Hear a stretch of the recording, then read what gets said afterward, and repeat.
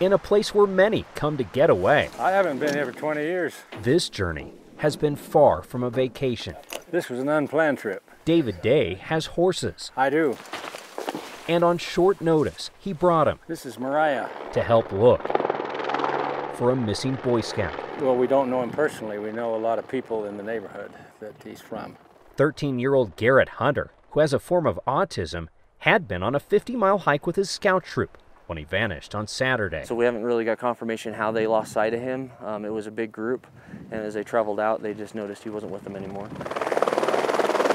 Searchers have been looking by air and by ground. Despite some potential sightings, North of Seneca Lake, which is quite a ways from where they last saw him. they've yet to find him in two days of looking. It's pretty thick country. There's a lot of trails, a lot of lakes, uh, a lot of area to cover.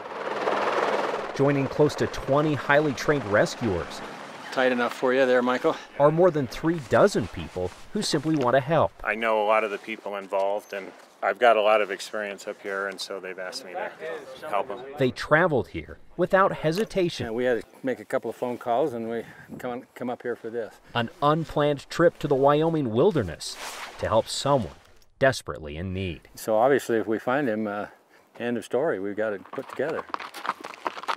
So that's a great thing.